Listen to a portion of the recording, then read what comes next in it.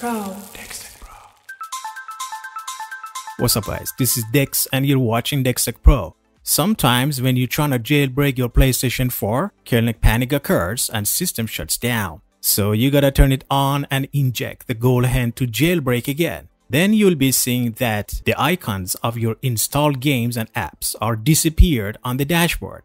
Don't panic because in this video tutorial, I'll be teaching you a very simple and quick way to restore back your disappearing games on your console again. First off, you need to jailbreak your PlayStation 4. You don't know how to do this? Then watch this video tutorial. Secondly, go to GitHub repository and download this application. I'm gonna put the link in description below for sure.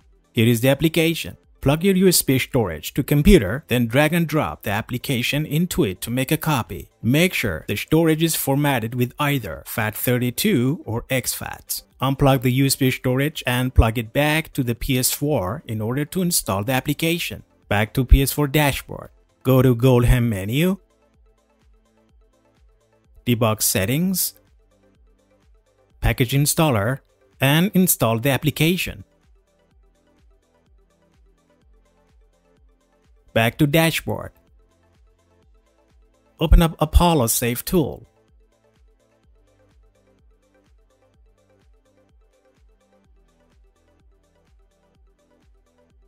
Go to User Tools. app.db database management.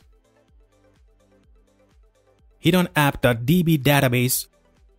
Database rebuilt successfully. That's great. Hit on OK. Now select and hit on DLC database.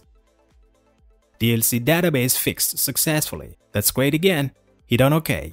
Alrighty, all set. You see, easy peasy. You just need to log out and log in back or better to restart your PlayStation 4 to apply changes we made. Then all of your missing games and application icons will be appeared on dashboard and that's the end of this video tutorial. Thank you for watching and have a good one. Subscribe to DexTech Pro YouTube channel. channel.